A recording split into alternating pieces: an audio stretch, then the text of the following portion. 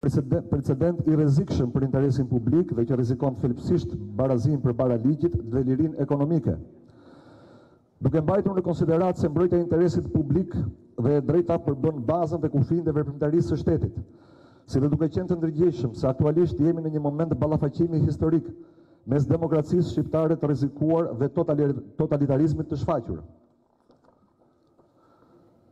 me dhe për të kontribuar në ndërtimin e një shtetit të së drejtës dhe një shokërije demokratike që garanton lirit dhe të drejtat e njëriut, me një sistem politik që garanton logarithënjen dhe kufizimin e pushtetit.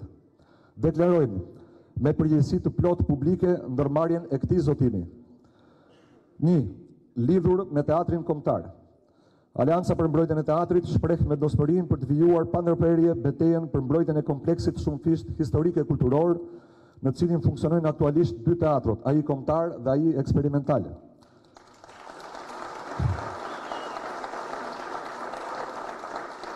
Partia Demokratike dhe Opozita e Bashkuar angazhohet të mbështes veprimet dhe aksionet e aleancës për mbrojtjen e teatrit, për mbrojtjen e ndërtesës historike të teatrit komtar dhe njëherësh mbrojtjen e pronës publike të kërcenuar nga tjetërsimi i paliqëm dhe korruptiv, duke përfshirë ndërmarjen është rëndësishme, duke përfshirë dërmarjen e gjdo aksioni të duhur e të nevojshëm ligjor, politik dhe qytetar. Brenda një muaj nga momenti kur Partia Demokratike e Shqipërisë dhe Opozita e Bashkuar do të jenë shumicë politike qeverisëse, kompleksit të ish qarkut Skanderbeg ku përfshihet teatri kombëtar dhe zona të rrethit, do të rikthehet me përparësi statusi ansambël monument kulture duke qenë pjesë e qendrës historike të qytetit të Tiranës. Në momentin kur Partia Demokratike e Shqipërisë dhe Opozita e Bashkuar do të jenë shumicë politike qeverisëse, kompleksi i Sharkut Skanderbeg, ku përfshihet teatri kombëtar dhe zonat rreth tij, do të nënshtrohen ruajtjes dhe restaurimit të tyre duke tërhequr një supermarrje të tillë për vojën dhe ekspertizën e arkitektëve dhe ekspertëve të monumenteve të kulturës më të mirë në vend.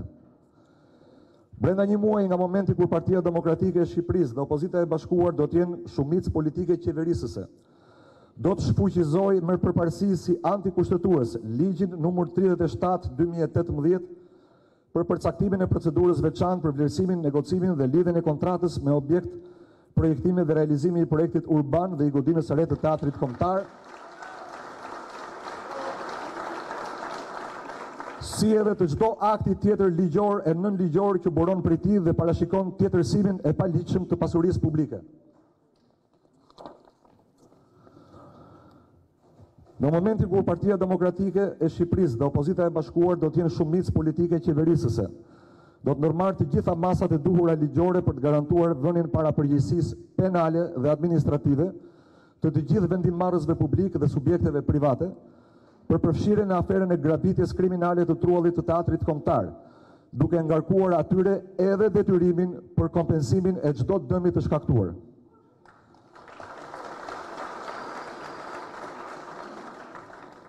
Pjesa e dytë. Lidhur me masat për të garantuar demokracinë funksionale, sundimin e ligjit dhe mbrojtjen e interesit publik. Në momenti kur Partia Demokratike e Shqipërisë dhe Opozita e Bashkuar do të jenë shumicë politike qeverisëse dhe do të ndërmarrë çdo, më fal, do të ndërmarrë çdo iniciativë të mundshme ligjore në përputhje me Kushtetutën e Republikës së Shqipërisë, përfshirë shtesa dhe ndryshime në legjislacionin në fuqi për të garantuar që çdo investim e zhvillimi realizuar në pronën publike të tjetërsuar në kundështim me ligjin dhe ose për motive të dyshuara si korruptive, do të kthejmë publikut nëpërmjet konfiskimit dhe ose kthimit të pronës në gjendën e mëparshme.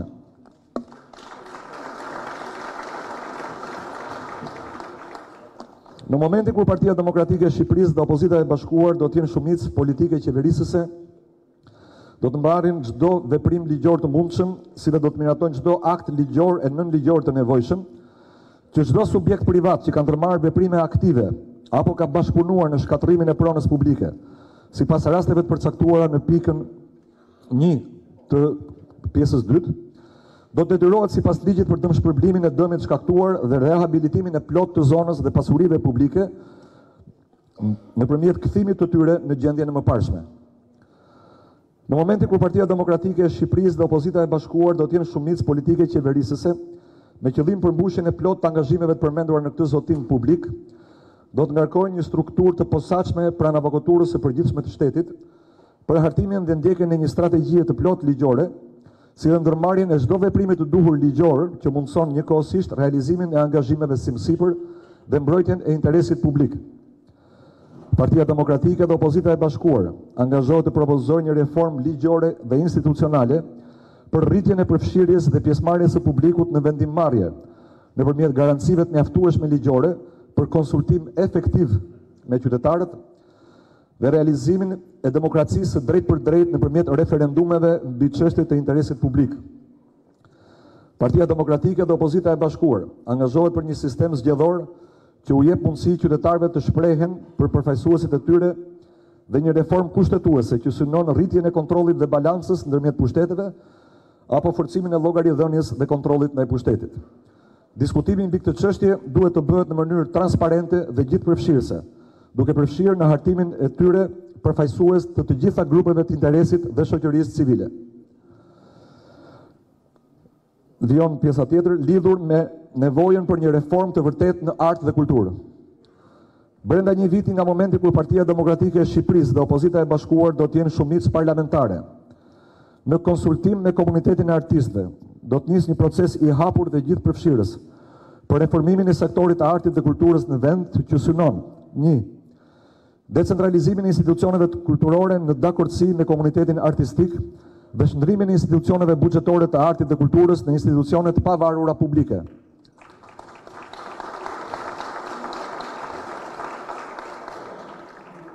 Reformimin e kuadrit ligjor për të garantuar statusin dhe të drejtat e profesionit artistit përfshi shpërblimin monetar të tyre, garantimin e mbrojtjes efektive të të drejtave të autorit në Shqipëri, rritje në bugjeteve për artin dhe kulturën në nivellet më të larta të rajonit.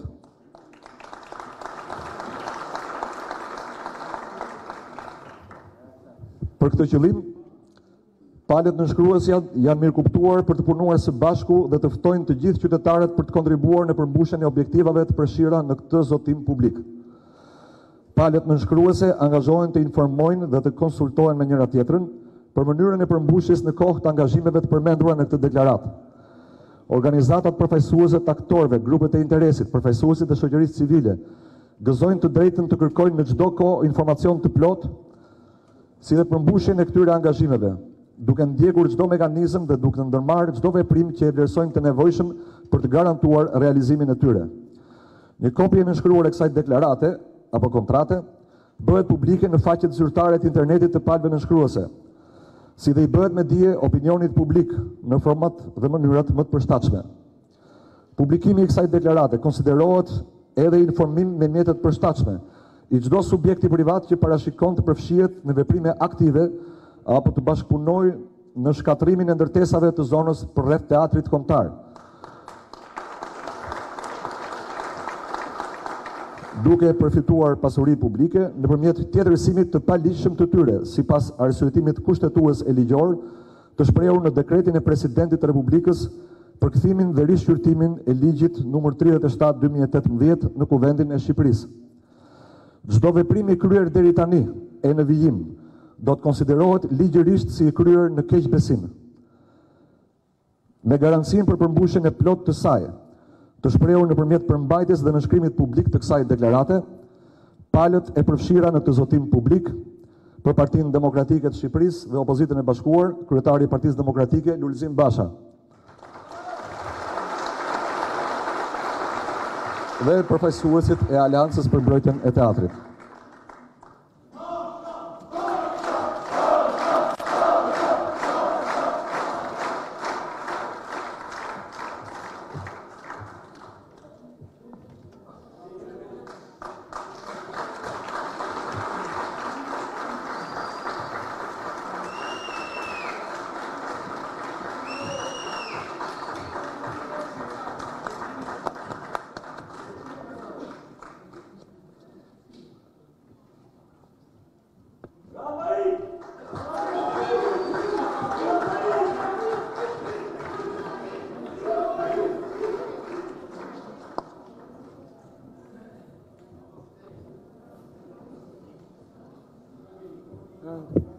Ndërkoj që firmose të ndoja të përcilja një mesaj.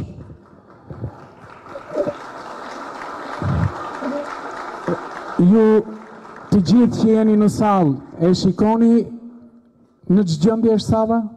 Qëfar për shtypje u Ju le për shtypjen si kur jemi në një salë që sa po ka përfunduar lufta. Kjo marveshje do të ngrerë, do të ndër, të lutem, do ndërtoj të ardhmen, kjo marrëveshje do të ndërtoj të ardhmen jo vetëm të teatrit, por vetë të demokracisë shqiptare.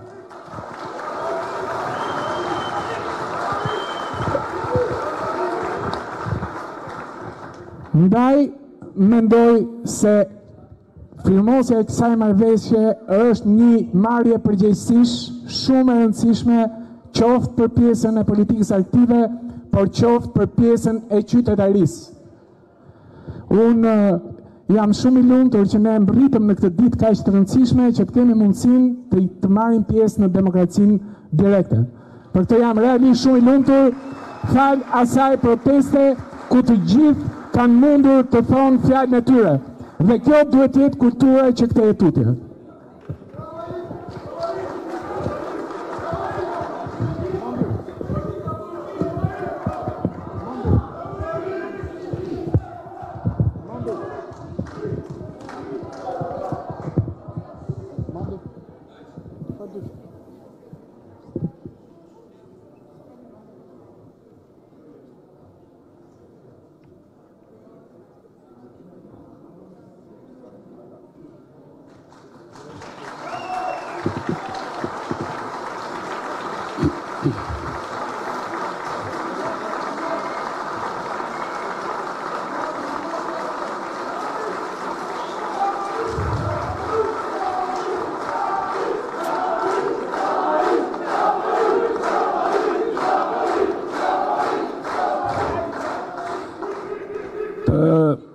që vlezëm në falni për këtë zë këshu të ngjirë, për e keni parë se që kemi e qërë gjithë këtë periudhë. Unë personalisht e përshëndes këtë kontrat të sotme. E përshëndes e gjej me shumë vënd dhe nesërë kur opozita me partin demokratike tjetë në pushtet, kjo kontrat duhet të materializohet. Unë, për para të gjitha gjërave, dua të shikoj në sy kryetarin e partijës demokratike. Po merë një premtim po premton para popullit dhe nuk jemi ne që firmosim këtu ne si jemi askushi po të mos ishin këta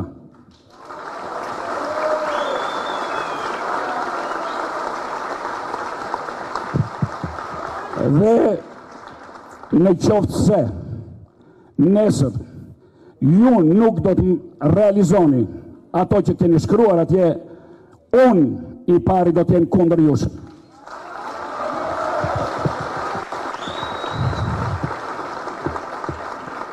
E lecova kontratën e dëgjove dhe sot, ka një gjë të dashur qytetarë. O, kjo kontratë firmoset nga të gjithë juve, ose kjo kontratë për mua më duke të qikë absurde të firmoset vetëm 5 veta.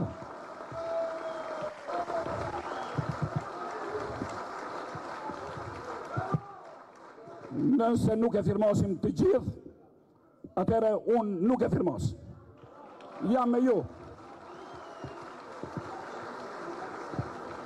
Pse e them këtë, më fali, pse e them këtë, nuk kam asë gjë, po këtu s'ka protagonist, këtu është populli që ka marrë fuqin në dorë. Dhe...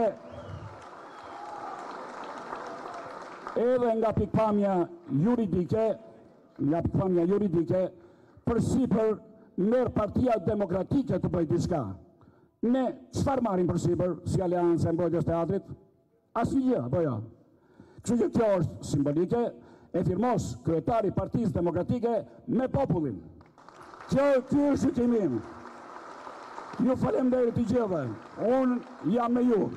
Mos në trafëtoni. Mos në trafëtoni.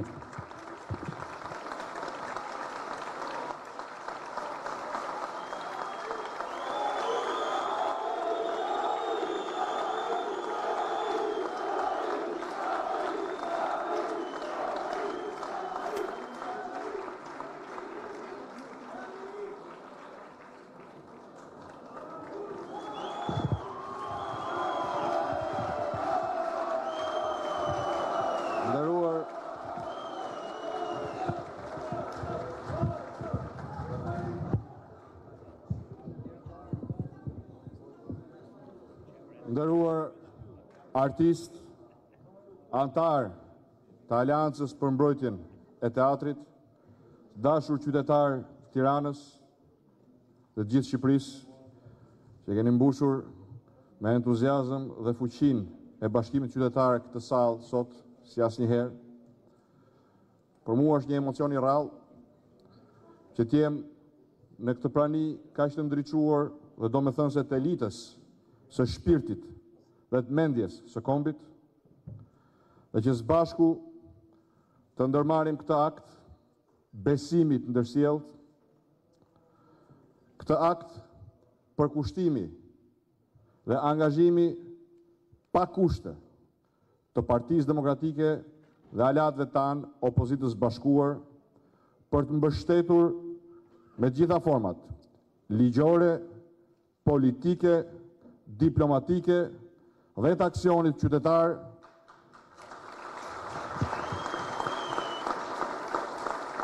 për të mbështetur të gjitha vendimet dhe veprimet e mëtejshme të aliancës për mbrojtjen e teatrit, si kunder i kemi mbështetur dherim sot. Ndëruar bashkë qytetarë, në nëshkrimi i kësaj kontrate besimi, midis opozitës sotme me atributet që nesër qytetarët shqiptarë do të japin me votën e lirë dhe të ndeshme, është akti parë që ne ndërmarim për mbrojtjen e interesit publik. është akti parë që ne ndërmarim për mbrojtjen putin e vendit në shinat e kushtetutës dhe të ligjit, të drejtësisë së barabartë për gjithë, të ndëshkimit të politikanëve të inkriminuar dhe të korruptuar pra dhenin fund pandëshkushmërisë së krimit dhe korrupsionit, të garantimit përfajsimit të qytetarëve në parlament dhe në qeverisit vendit, dhe të politikave të zhvillimit ekonomik, të punësimit dhe të luftës kundër varfërisë. Është do me thënë se që këta akt parë ne kemi zgjedhur, ashtu si që ka zgjedhur dhe momenti, ta bëjmë me një grup të shoqërisë tonë, cilin fjala grup interesi i ringusht. Me një grup i cili me sakrificën për e pothuese një vit gjysëm me këmgulljen për të mbrojtur jo një interes privat, po interesin e gjithë qytetarëve dhe interesin e kombit.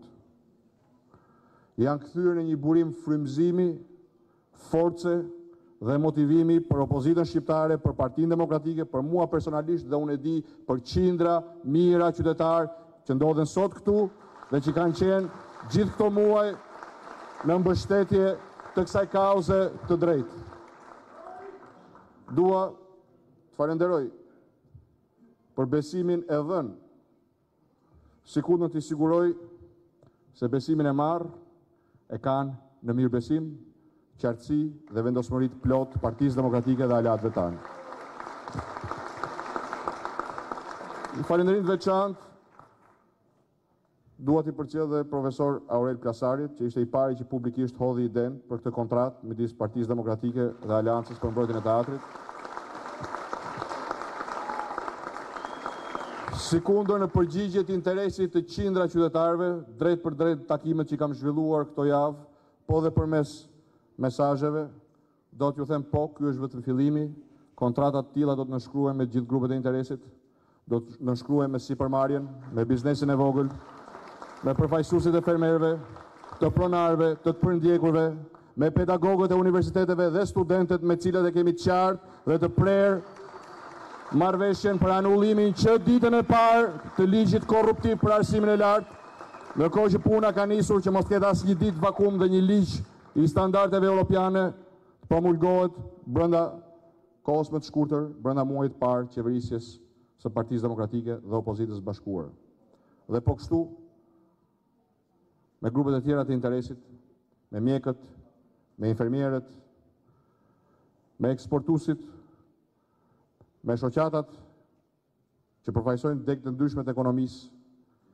Pra, koha për fjarën me të vërtet kam baruar, 30 qërëshori është dita një zgjimit mafë komtar, refuzimi popullor dhe qytetar i këtirë regjimi, i cili njësoj si të teatri komtar, ka vëtëm një projekt, grabitjen, vjedhjen, pastrimin e parave të pista të drogës e të krimit, këtë projekt ka kudo, këtë projekt kishtë të kunaza e re, këtë projekt ka të stadiumi, këtë projekt ka të koncesioni më i fundit Milot Baldren, dhe që nga koncesionet e para të qekapit, i vetëmi projekt i këti regjimi është vjedhja dhe grabitja e pasurive të shqiptarve. Ne jemi të vendosur të japim fund këti modeli, ashtu si zotohemi në këtë kontrat, të gjurmojmë gjdo qindark dhe gjdo pasurit tjetërsuar qytetarve shqiptar dhe publikut shqiptar, ta konfiskojmë dhe tja kthejmë të zotit që është populli, janë qytetarët, janë taksa paguesit dhe pronarët legjitim pasurive tona publike. Por e dim që kjo nuk mjafton. Mesajit 30 qëshorit është mesaj për një ndryshim të vërtetë të thellë dhe të qëndrushëm. Për këtë arsye, kontratat tona me të gjithë grupet e interesit do të jenë ndërmarrja më transparente, më konkrete dhe drejt për drejt të cilin e lidhim me vedjen e plot duke mirë pritur atë që tha Edmond Budina, që shkelja kësaj kontrate në ngarkon në përgjësi direkte para publikut, para qytetarve dhe para votuzve shqiptarë.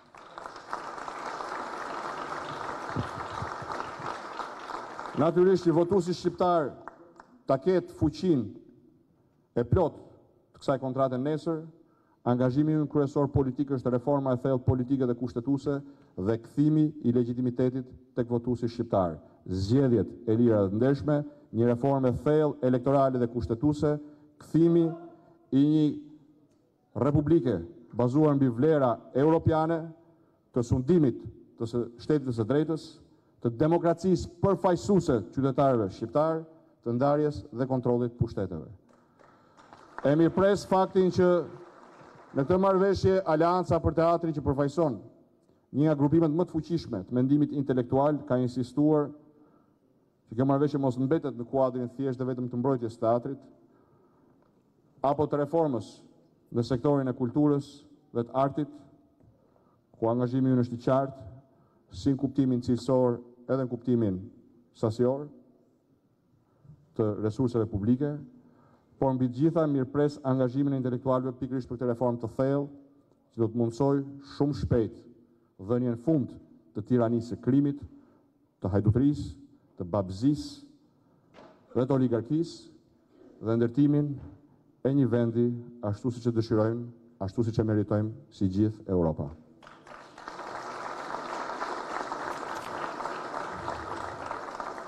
As një arritje madhe në as një shoqeri nuk ka kaluar pas sakrificat në dha. Kombëve të përparuarat përëndimit ju ndashur shekuj, betejash, shpesh herë me kostot më dha, për të arritur në konsolidimin e demokracive që ne duham tashmë të kemi për model. Edhe ne, po zhvillojmë beteja tona.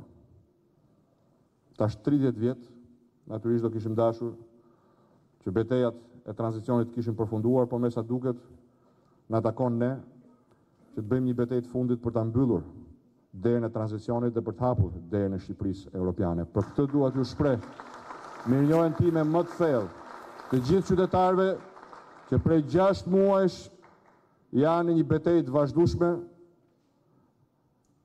me të keqen, janë një betej të vazhdushme për ta mundur të keqen dhe për ta bërë të jo me një të keqe tjetër, po me të mirën, me shpresën, me besimin të nga që buron nga identitetin kulturor, kulturor, kontar dhe qytetar si europian.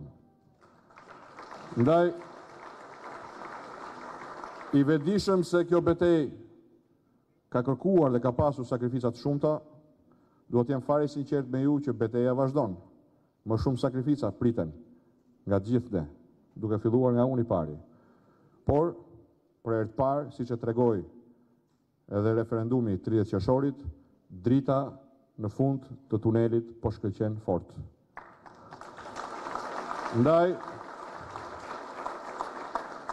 le të vazhdojmë të betej të bashkuar, le të vazhdojmë të betej të frymzuar nga qëndresa individuale, njerëzore, apo të grupuara si kjo e aliancës për mbrojtjen e teatrit, e banorve, të unazës re, e kuksianve, dhe shumë grupeve tjera të cilët me kurajnë e tyre nga të reguan se jo vetëm bashkimi bën fuqin, për fuqia e bashkimit do të mposht keqen dhe do të hapë rrugën e Shqipëris për gjithë Shqiptarët. Mirë njoje dhe falenderime pa forcën tuaj, pa qëndresën tuaj, e gjithë kjo do të ishte pa mundur, ju jeni frimzimi ynë dhe detyrimi i madhë i partisë demokratike, i alatëve tanë, i opozitës bashkuar, detyrim të cilin do të fillojmë të ashlujem që ditën e parë që besimi juaj me vot na jap përgjegjësin e qeverisë së vendit. Ju faleminderit.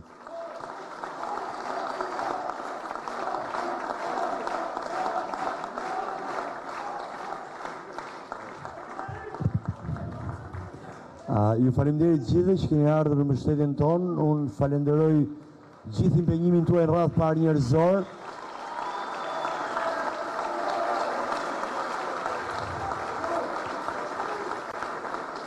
Gjithë mështetjen, jo vetëm tuaj që keni qenë pa diskutim nga të pare, që nga keni mështetur edhe fizikisht, po mështetjen në barë populore që ka marë alianca për mbrojtën e teatrë komunitar, falendori pa diskutim edhe uh, kërëtare në demokratike i cili pati për ullësin,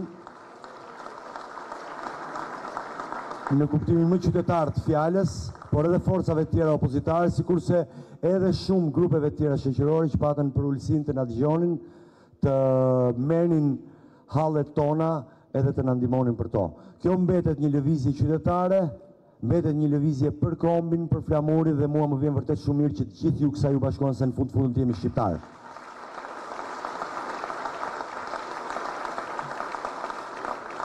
Unë ju kërkoj dhe në qikë në djesë për paracitjen, për po në quna popullu jemi,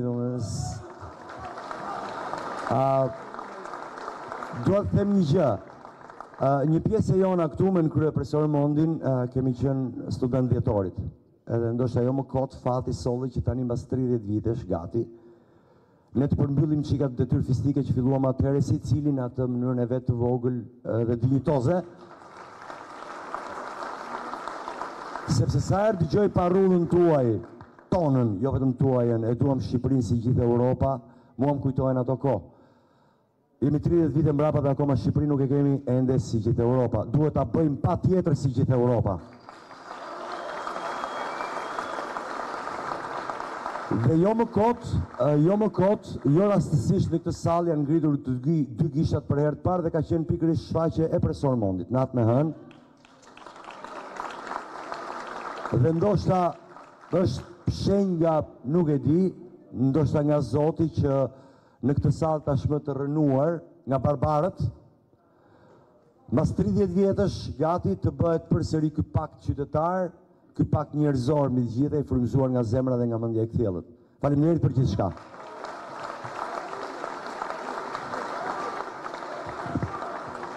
Unë kam vëtëm dy fjallë. E pam që farë bëm djeba jo. Bëhet me fjallë. Falem dhejt, falem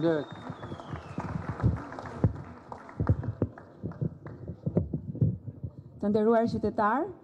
Ky është kulmi i kësaj dite të sotme. Unë ju uroj një ditë të mbar me shpresën se ne do ta vazhdojmë shumë gjatë këtë protestë edhe me mbështetjen dhe kontributin tuaj. Ju falenderoj.